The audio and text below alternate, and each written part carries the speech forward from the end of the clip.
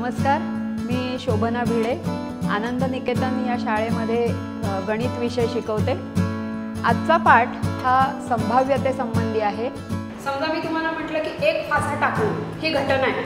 तर त्या घटनेमध्ये विषम संख्या मिळण्याची संभाव्यता किती? काय? संभाव्यता कशी काढायची? त्याचं सूत्राचा वापर कसा करायचा? नमुना अवकाश कसा शोधायचा? हा भाग यापूर्वीच्या तासाला मुलं शिकली आहेत. दैनंदिन जीवनातल्या उदाहरणाच्या साहाय्याने हे सूत्र आम्ही आज पडताळून पाहणार आहोत. त्याचबरोबर संभाव्यतेचे दोन गुणधर्मही शिकणार आहोत. परंतु यातील काहीच मी त्यांना आधी सांगणार नाही. ते त्यांनी स्वतः शोधून काढावे अशी रचना मी या पाठाची केली आहे. त्यामुळे अंदाज वर्तवणं आणि ते पडताळून पाहणं अशी कार्यनीती मी वापरणार आहे. एक फासा टाकला. तर सहा मिळण्याची संभाव्यता किती? एक छेद सहा. कशी काढली ही? एन ए बरोबर एक. एन एस बरोबर सहा म्हणून एन पी ए बरोबर एक छेद सहा. जर मी फासा शंभर वेळा टाकला तर मला सहा किती वेळा मिळते हां? सोळा. अच्छा. आणि कुणाला काही सुचतंय उत्तर? वीस. वीस. आणि काही अंदाज? पंचवीस. पंचवीस. ओके. आपण बघूया. हे करून मी तुम्हाला जोडीमध्ये एक फासा देते. तुम्ही शंभर वेळा जोडीतल्या एकाने कोणीतरी शंभर वेळा टाकायचा आणि सहा किती वेळा पडले ते लिहून ठेवायचे. या कृतीमध्ये शंभर वेळा फासा टाकला तर सहा किती वेळा पडतील याचा अंदाज मी मुलांना बांधायला सांगितला. नंतर मुलांनी जोडीमध्ये प्रत्यक्ष शंभर वेळा फासा टाकून बघितला आणि आपला अंदाज पडताळून पाहिला. आता आपण बघूया की कोणाकोणाला किती वेळा सहा मिळाले. तुम्हाला किती वेळा सहा मिळाले? एकोणावीस. तुम्हाला किती वेळा मिळाले? सोळा. तुम्हाला? सोळा. चौदा. सोळा. सतरा. आता तुमचं सगळ्यांना जे काही मिळालंय त्याच्यावरनं आपल्याला कुठल्या तरी एका संख्येपर्यंत यायचंय. हं? म्हणून मी असं करते की ह्याची एकशे अठ्ठावन्न बेरीज झालेली आहे आपली. आणि वाचनं लिहिली आहेत मी किती जणांची. नऊ जणांची. म्हणजे मग सरासरी किती आली आपली? म्हणजे काय लक्षात आलं आपल्याला की ही साधारण सरासरी आपली सतराच्या आसपास येते? मग इथे हे जे अंदाज सांगितले होते त्यापैकी हा अंदाज कोणी सांगितला होता? सोळाचा? अच्छा का वाटला तुला सोळा येतील? कारण शंभर वेळा फासा टाकणारे तर सहापैकी एकदा स- अ, सहा येण्याचा शक्यता असते. म्हणून सोळा सक शहाण्णव म्हणून सोळा. स्वप्नीलने जे सांगितलं तेच आपण जर टक्केवारीच्या भाषेमध्ये बोललो तर एकशे सहाची टक्केवारी काय पडते? बघा बरं काढून एकशे सहाची टक्केवारी काय येते? सहा एक सहा उरले चार चार शून्य सहा सहा छत्तीस. सोळा पॉईंट सहा.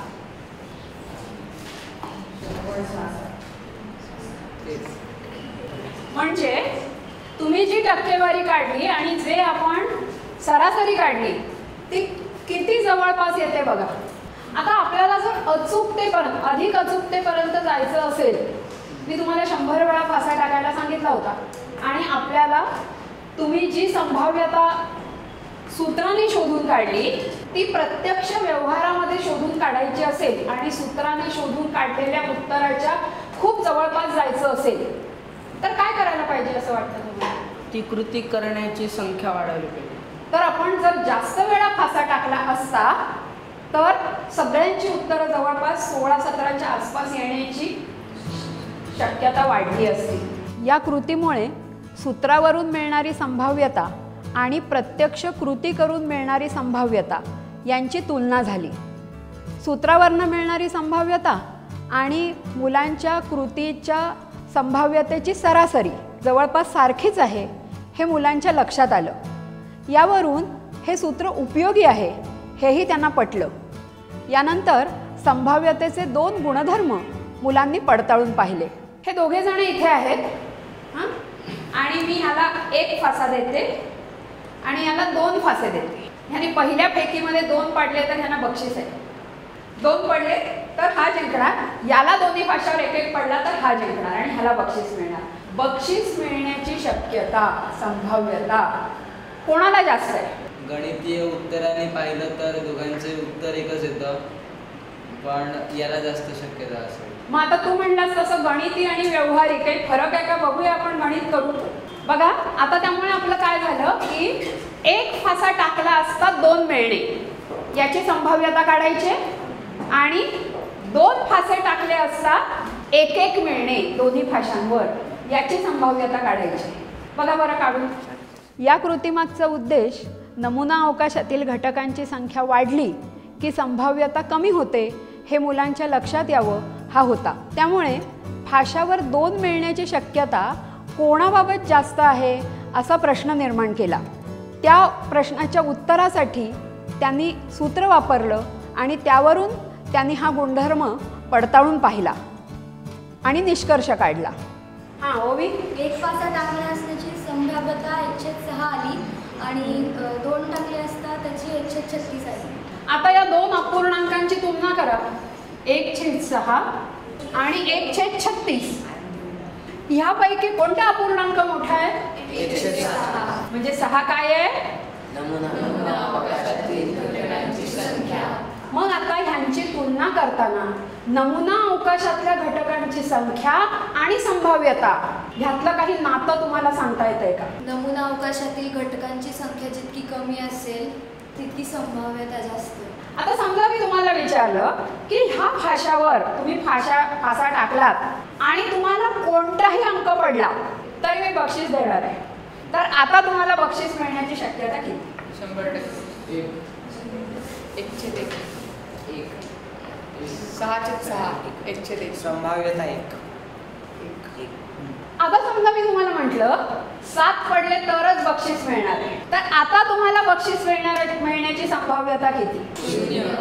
आणखीन काही अटी तुम्हाला मी सांगते. फाशावर समसंख्या मिळण्याची संभाव्यता किती?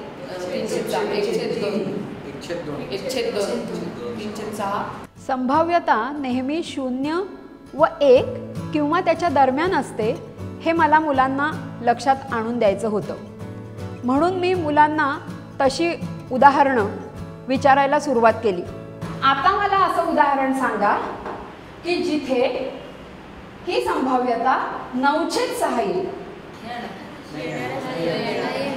जर नऊछेद सहा संभाव्यता आली असती तर दशांश अपूर्णांकामध्ये ही संभाव्यता किती आली असती?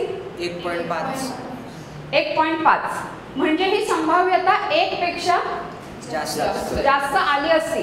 मग आता मला अशी सांगा घटना की ज्याच्यामध्ये संभाव्यता ऋण आहे. का नाही येणार? शून्य. कमीत कमी एक शून्य घेता येते. कमीत कमी शून्य घटक घेता येतो. त्याच्यापेक्षा कमी घटक घेता येत नाही. म्हणजे संभाव्यता कमी संभाव्यता ही खरं तर दैनंदिन जीवनाशी निगडीत आहे. परंतु ती अमूर्त स्वरूपामध्ये शिकवली जाते. खरं तर नेहमीच्या जीवनात आपण कायमच अंदाज बांधत असतो. आज पाऊस पडेल का? भारत मॅच जिंकेल का?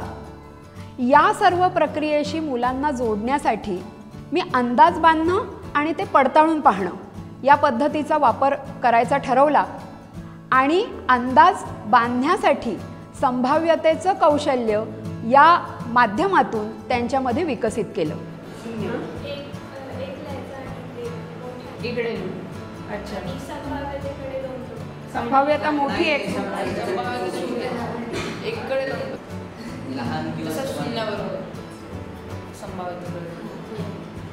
शून्य. संभव